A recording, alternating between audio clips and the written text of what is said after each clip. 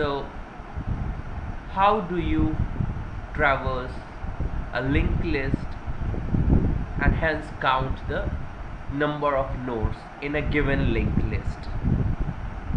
So this is the question. Count the number of nodes in a linked list. So what to do? So first step whenever you are given such question is draw it pictorially. So we will draw pictorial. So for any linked list problem so you should draw something like this. You should draw several nodes so one is the data part and one is the next pointer okay? So what is essential in all linked list problem is that okay so there will be a start pointer. So these are the bare necessities. So we will have a start pointer. This is the first element. Then a link to the next element let the next element be this one. And we have so the next element let there be three four elements. So there is a next pointer to this which now links to the next element. So this is how we first draw the picture. Okay? Uh, let's have four elements in our linked list. So the last element is there. And finally what we do is that we should have a null which represents that okay the next pointer of the final node or the last node should be null. So this is null. So this pictorial representation helps quite a lot in solving linked list problem. So this is the start pointer this is the start pointer. These are all nodes. And each node has one data part plus a next pointer. Okay so now what should you do? Now it becomes so this is the linked list that we have now. Let's say we have elements. 25 36 12 and 8 okay? So what we need to do is that okay so let's see now in again the physical pictorial world. So when I have to travel what will I do if this is kind of some islands are there and some bridges are there in between so what you will do so you will start from the shore you will go to the first island. So I will go to the first island. I come here I will say that okay I have visited count I have a variable called count and it is 0 initially. When I come here using the start pointer I come to this one so what happens now is I make count is equal to 1 next I go to this place using the link or the bridge which tells that okay where is the next island or the node? I come here. Now I say that okay I'm at the next island or node and I do count is equal to 2 next what happens is okay so we go further using this link we go to the next node which is 12 and I say okay now the count is 3 and finally what happens is we go to the next node which is 8 and I say now that my counter is 4 count is 4 so what happens next? Okay again I will see the next is there any next link or bridge? But I see that okay I go there and find that this is null this is the traversal I have to do and then I find that okay there are four nodes in the linked list okay? So this is quite simple. So now what will happen is that we have drawn the pictorial representation and how does this traversal happen? So this happens using another temporary pointer. So what I do is I define a temp pointer.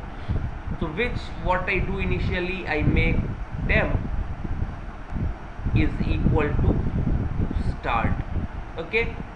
So temp is initially made equal to start which means now that okay the person who is going to traverse where should he point at the first instant he should point to the starting node and he points there. Now what I do is I say that okay I will check what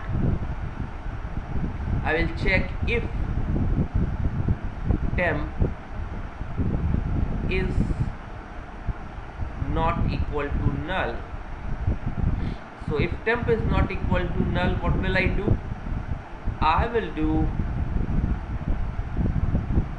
count plus plus. So this is what I'm given. So if temp is not null I see that at least one element is there. I do count plus plus.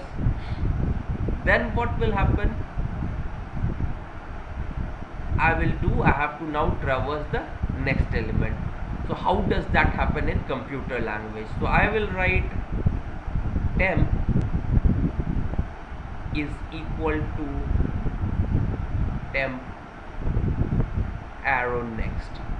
So this is the statement that means okay so this is temp now. And one very important thing here is that we should know the convention is that if there is a node which I represent pictorially like this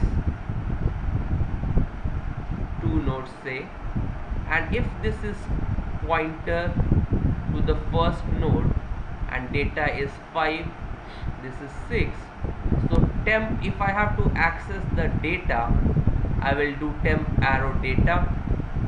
So this is equal to 5 and this is another pointer here. So let's say it's ptr2 so now temp next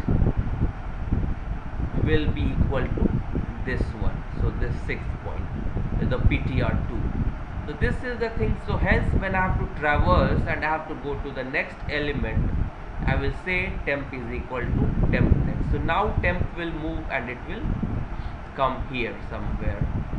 So it will be now temp is equal to temp next. So temp was here now it is removed and it comes here. Again I will put it in a for loop. So I will say that okay if temp is not equal to null so temp is not null here also so what will happen is count plus plus I do so it becomes 2 now and temp is equal to temp next. So temp is this one and temp next is this pointer. So now temp points to this place. So this is temp. Again temp is not equal to null. So what I do I do count plus plus it becomes 3 and I check and what I make? I make temp is equal to temp next. So as a result what happens? Now temp was here. It will go to this place. So now temp our temp is here. Again it checks temp is not equal to null so it will do count plus plus and temp is equal to temp next. So now where will our temp go our temp will now become equal to null. And hence if temp is equal not equal to null is false it will come out of the loop and it will give us 4 so this is the simple thing how to traverse a linked list and again so how to find the number of nodes using count. So we will now simply write some code here. So let's try to write the code. So I will have a function called int count. And I will have struct node star head. And then so what will I do? So I will do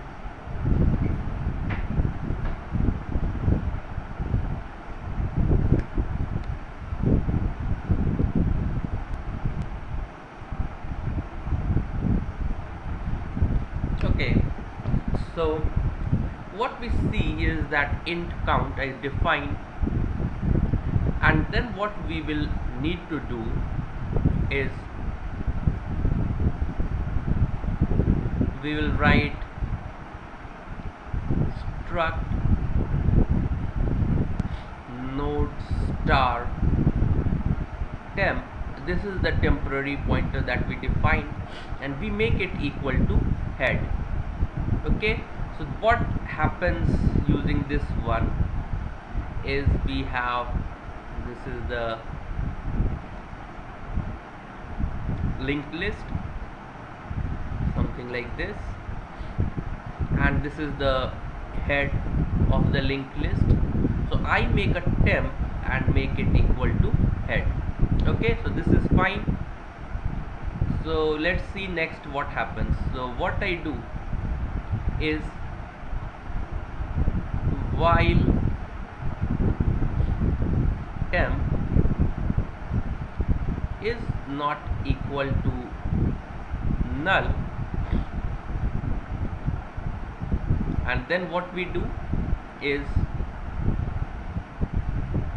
we will do count plus plus and then temp is equal to temp next. So this will be our code and we haven't defined a count variable so we will define it int count is equal to 0 and then finally what we will do? Return count. Okay? So this will be the code and let's now check for our example linked list. So we have let's say 2 there is 7 8 and let's say 12 so this is a linked list of four elements. So now what happens is we have a start or head that we have written here. So it's a head and then we have we make a temp pointer and we point to this one. So temp is equal to head. So this is done here. Then while temp is not equal to null so initially it's not null count plus plus so count now becomes 1 temp is equal to temp next so now temp comes here. Because temp is this one temp next is this. So temp is now here after one loop. So now let's see. Again is temp null? So no it's not null. So count plus plus it is becoming 2 temp is equal to temp next. So temp next is now this one. So temp becomes temp next. So temp is now here. Again is temp is equal to null so no. So count plus plus it becomes 3 and temp is equal to temp next so it moves there. And now temp is equal to null no. So count plus plus 4 and temp is equal to temp next. Now temp next is null so it becomes null. And now while temp is not equal to null is not true it comes out of the loop and returns 4 so this is about traversing a linked list and counting the number of nodes. So if you like this uh, video then you please subscribe to my channel to see more such videos and you can like this videos and share it on your facebook account so that other people can get also helped and of course me. Thanks a lot